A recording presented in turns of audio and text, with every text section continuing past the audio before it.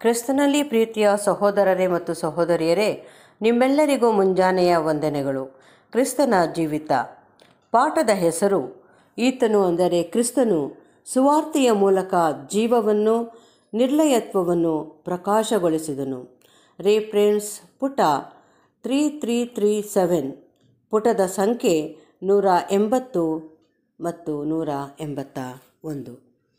ನಿರ್ಲಯತ್ವ ಅಥವಾ ದೈವಿಕ ಸ್ವಭಾವವು ಕೇವಲ ಆಯಲ್ಪಟ್ಟವರಿಗೆ ಮಾತ್ರ. ಆತನು ನಿರ್ಲಯತ್ವವನ್ನು ಸಹ ಬೆಳಕಿಗೆ ತಂದನು.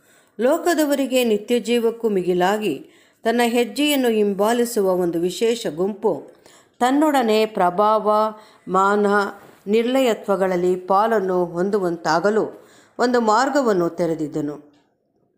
ಲೋಕದಲ್ಲಿನ ಸಾಧಾರಣ ಜನರು ಇದನ್ನು ಗ್ರಹಿಸಿಕೊಳ್ಳುವುದಾಗಲಿ, ಇಲ್ಲವೇ ಮನವರಿಕೆ ಮಾಡಿಕೊಳ್ಳುವುದಾಗಲಿ ನಿರೀಕ್ಷಿಸಲಾಗಿರಲಿಲ್ಲ. ಬದಲಾಗಿ ತನ್ನನ್ನು ಪ್ರೀತಿಸುವವರಿಗಾಗಿ ಅಂದರೆ ಪವಿತ್ರಾತ್ಮನಿಂದ ಹುಟ್ಟಿದವರ, ಹುಟ್ಟಿದವರಾಗಿ ಆತನೊಡನೆ ಆ ರಾಜ್ಯದಲ್ಲಿ ಸಹಭಾಗ್ಯರಾಗಲು, ಬಾಧ್ಯರಾಗಲು ಕರೆಯಲ್ಪಟ್ಟವರು. ತಾವು ಕರೆದದ್ದನ್ನು ಮತ್ತು ಆದುಕೊಂಡದನ್ನು ದೃಢಪಡಿಸಿಕೊಂಡು ನೂತನ ಸೃಷ್ಟಿಗಳಿಗಾಗಿ ದೇವರು ಸಿದ್ಧ ಮಾಡಿರುವಂಥ ದೆಲ್ಲವನ್ನು ಸಾಧಾರಣ ಜನರ ಕಣ್ಣು ಕಾಣಲಿಲ್ಲ, ಕಿವಿ ಕೇಳಲಿಲ್ಲ, ಅದರ ಭಾವನೆಯು ಮನುಷ್ಯರ ಹೃದಯದಲ್ಲಿ ಹುಟ್ಟಲಿಲ್ಲ. ನಮ್ಮ ಕರ್ತನ ಸೇವೆ ಮತ್ತು ಉಪದೇಶಗಳನ್ನು ಈ ಮೂರು ದೃಷ್ಟಿಯಿಂದ ನೋಡಿದಾಗಲೇ ಇದು ಸರಿಯಾಗಿ ಗ್ರಹಿಸಲ್ಪಟ್ಟು ಮನವರಿಕೆಯಾಗಿರುವುದು. ತನ್ನ ಜೀವವನ್ನು ನಾನು ತಾನು ತೀರಿತು ಎಂದು ಕೂಗಿ ಹೇಳು ಹೇಳುವವರೆಗೂ ಅನುದಿನವೂ ಅರ್ಪಿಸುತ್ತಿದ್ದ ಆತನ ಯಜ್ಞಾರ್ಪಣೆಯು ಆದಾಮನ ಮತ್ತು ಆತನ ಕುಲದವರ ವಿಮೋಚನಾರ್ಥವಾಗಿರುವ ಬೆಲೆ ಎನ್ನುವುದು. ಆತನು ಸಾಧಾರಣವಾದ ಉಪದೇಶವು ಅಂದರೆ ವಿಮೋಚನಾ ಕಾರ್ಯದ ಪರಿಣಾಮವಾಗಿ ಲೋಕದವರನ್ನು ದೇವರೊಡನೆ ಆಗುವ ಮರುಸಂಧಾನದ ವಿಷಯವಾಗಿ ಲೋಕದ ಪಾಪಗಳನ್ನು ಸಂಪೂರ್ಣವಾಗಿ ಕ್ಷಮಿಸಲ್ಪಡುವುದನ್ನು ಆ ರಾಜ್ಯದ ಮೂಲಕವಾಗಿ ಆಗ ಲೋಕದವರಿಗೆ ಉಂಟಾಗುವ ಆ ಮಹಾಪರೀಕ್ಷೆ ಅಥವಾ ನ್ಯಾಯ ವಿಚಾರಣೆ, ಇಲ್ಲವೇ ದೊರೆಯಲಿರುವ ಸದವಕಾಶಗಳು, ಇವುಗಳು ಒಂದು ಕ್ಲುಪ್ತ ಕಾಲದಲ್ಲಿ ಲೋಕದವರಿಗೆಲ್ಲ ಅನ್ವಯವಾಗುವುದು. ಇದನ್ನು ವಿಮೋಚಕನು ದೇವರಿಗೂ ಮನುಷ್ಯರಿಗೂ ಮಧ್ಯಸ್ಥನಾಗಿ, ತಮ್ಮೊಳಗೂ ಹೊರಗೂ ಇರುವ ಈ ಪ್ರತಿಕೂಲವಾದ ಸ್ಥಿತಿಗತಿಯಿಂದ ಮಾನವ ಕುಲವನ್ನು ಬಿಡುಗಡೆ ಮಾಡಿ, ಅವರನ್ನು ತಮ್ಮ ಸೃಷ್ಟಿಕರ್ತನೊಡನೆ ಹೊಂದಿಕೆಗೆ ಹೊಂದಾಣಿಕೆಗೆ ತರುವ ಸಲುವಾಗಿ ಆ ರಾಜ್ಯವನ್ನು ಸ್ಥಾಪಿಸುವನು.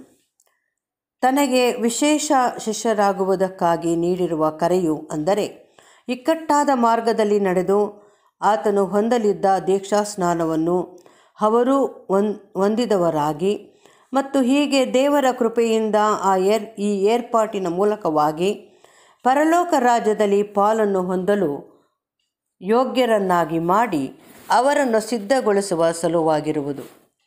ಅವರು ಈ ಮೂಲಕವಾಗಿ ಕ್ರಿಸ್ತನೊಡನೆ ಆತನ ಸಿಂಹಾಸನದಲ್ಲಿ ಕುಳಿತು ಭೂಲೋಕದ ಎಲ್ಲ ಕುಲದವರಿಗೂ ಸಾವಿರ ವರ್ಷದ ಆಳ್ವಿಕೆಯ ಕಾಲದ ಅದ್ಭುತವಾದ ಆಶೀರ್ವಾದಗಳನ್ನು ನೀಡುವುದರಲ್ಲಿ ಆತನೊಡನೆ ಪಾಲುಗಾರರಾಗುವರು. ನಾವು ಈ ಆಲೋಚನೆಯುಳ್ಳವರಾಗಿಯೇ ನಮ್ಮ ಮುಂದಿರುವ ಈ ಪಾಠವನ್ನು ಅನುಸರಿಸಿ ಹೋಗುವೆವು. ಏಸು ಮತ್ತು ಆತನ ಶಿಷ್ಯರು ಐದು ಸಾವಿರ ಜನರಿಗೆ ಊಟವನ್ನು ನೀಡಿದ ಮತ್ತು ಗಲಲಾಯ ಸಮುದ್ರದಲ್ಲಿ ಬಿರುಗಾಳಿಯಿಂದ ಕೂಡಿದ ರಾತ್ರಿಯನ್ನು ಕಳೆದ. ನಂತರ ಕಪೆರ್ನೋಮಿನಲ್ಲಿ ಕೆಲವು ಸಮಯ ಕಳೆದಿದ್ದರು. ಅಲ್ಲಿ ಕರ್ತನು ತನ್ನನ್ನು ಕೇಳುವವರು ತಮಗೆ ಕೊಟ್ಟ ಕೊಟ್ಟಿದ್ದ ರೊಟ್ಟಿ ಮತ್ತು ಮೀನುಗಳ ವಿಷಯವಾಗಿ ಅಲ್ಪವಾಗಿ ಆಲೋಚಿಸುವವರಾಗಿರಲು, ಅವರು ಉನ್ನತವಾದ ಸಂಗತಿಗಳನ್ನು ಗ್ರಹಿಸುವವರಾಗಬೇಕೆಂದು ಅವರಿಗೆ ಸವಿವರವಾಗಿ ಉಪದೇಶಿಸಿದ್ದನು. ಅವ, ಅವರು ತನ್ನನ್ನು ಪರಲೋಕದಿಂದ ಇಳಿದು ಬಂದ ಜೀವ ಕೊಡುವ ರೊಟ್ಟಿ ಎಂದು ಗುರುತಿಸಿಕೊಂಡು ತನ್ನ ಮಾತುಗಳ ಮೂಲಕ ಪೋಷಿತರಾಗಿ ನಿತ್ಯ ಜೀವವನ್ನು ಪಡೆದುಕೊಳ್ಳಬೇಕಾಗಿತ್ತು. ಹೀಗಿದ್ದರೂ ಈ ನಿತ್ಯ ಜೀವವನ್ನು ಎಲ್ಲರಿಗೂ ಸಾಧಾರಣವಾಗಿ ಒದಗಿಸಿಕೊಡುವ ಸಮಯವು ಆಗ ಇನ್ನೂ ಬಂದಿರಲಿಲ್ಲ. ಆದುದರಿಂದ ಆತನು ನಿರ್ದಿಷ್ಟವಾದ ರೀತಿಯಲ್ಲಿ ನೀತಿಗಾಗಿ ಹಸಿದು ಬಾಯಾರಿದವರನ್ನು ವಿಶೇಷವಾಗಿ ಹುಡುಕುತ್ತಿದ್ದನು. ಅಪೋಸ್ತಲರು ಈ ಗುಂಪಿಗೆ ಸೇರಿದವರಾಗಿದ್ದರು. ಪಂಚಾಶತಮ ದಿನದಂದು ಪ್ರಾರಂಭವಾಗಲಿದ್ದ ನೂತನ ವ್ಯವಸ್ಥೆಯಲ್ಲಿ ತಾನು ಇವರ ಮೂಲಕವಾಗಿ ನಿರ್ವಹಿಸುವ ಈ ಮುಂದಿನ ಕಾರ್ಯಕ್ಕಾಗಿ ಅವರನ್ನು ಆಗ ಸಿದ್ಧಗೊಳಿಸುತ್ತಿದ್ದನು.